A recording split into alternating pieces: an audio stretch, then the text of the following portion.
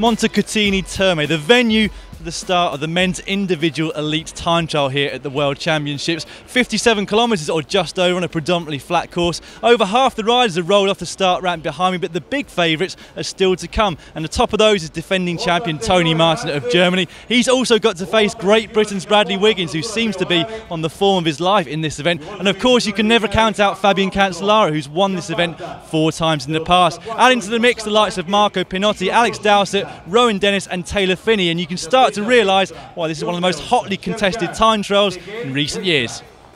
First of the big guns to roll down the start ramp was Britain's Bradley Wiggins. Clearly pacing himself, he was only fourth fastest at the first intermediate time check after 7 kilometres, with two riders still to come. But by the last time check, and then at the finish, he was setting the provisional best time, almost 40 seconds quicker than his trade teammate Vasil Kiryienka.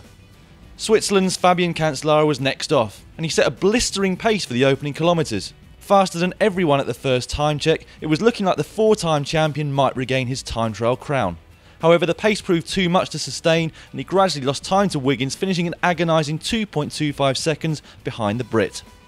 Defending champion Tony Martin set out with a point to prove, having suffered a rare defeat in this year's Vuelta individual time trial to Cancellara. And the German powerhouse didn't disappoint. He was a very close second to Cancellara at the first time check, but he quickly got into his rhythm, and over the rest of the race, he slowly but surely distanced his key rivals. Martin was ecstatic as he crossed the line, celebrating before quickly falling to the floor in exhaustion.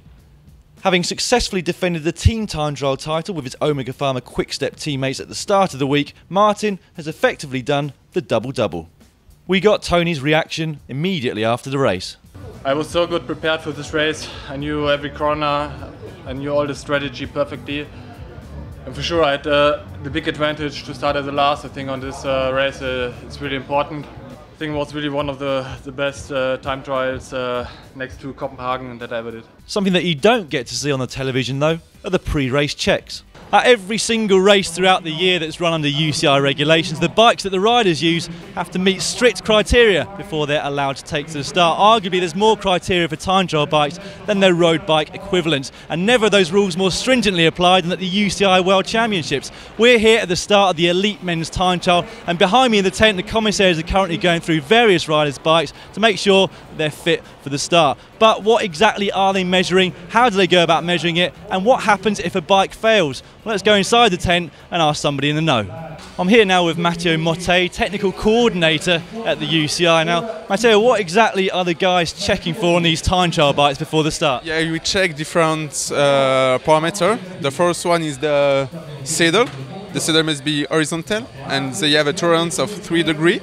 So we check the saddle, and after we check different dimensions. So the the distance be between the tip of the saddle and the bottom bracket, the the distance between the bottom bracket and the extension, and uh, we make a visual check to uh, to be sure that there is no techni technological innovation on the bike. And what equipment are you using to make these measurements? It looks like it's some sort of electronic. No, no, it's just uh, we have we have the this jig with the dimension, so it's very simple. And so, what happens if one of the bikes is outside the UCI criteria? Uh, we ask the mechanics to adapt uh, this the, the, bike to uh, to conform to our rules. Does that ever lead to any arguments between the commissaires and the mechanics? Sometimes, sometimes. But uh, we have a jig, and if the jig say no, it's no.